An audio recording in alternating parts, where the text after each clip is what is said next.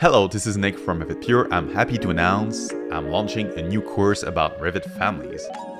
Advanced Revit Family Strategies is a course to help you create amazing Revit content.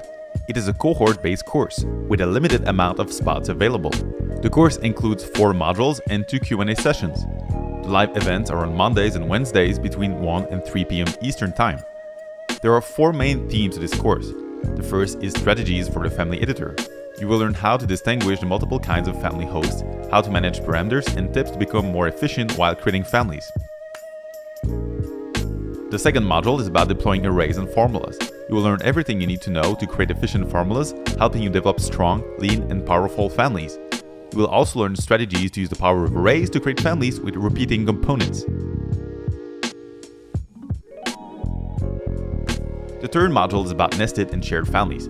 You will learn how to put one family inside another one to create better content. You will develop shared families to improve the data inside your Revit models.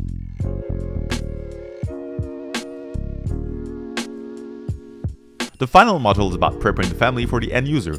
Even the best Revit families are useless if your teammates don't understand how to use them.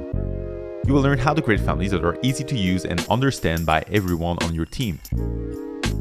The course includes four live interactive sessions. For each module, you will have family creation challenges to test what you've learned.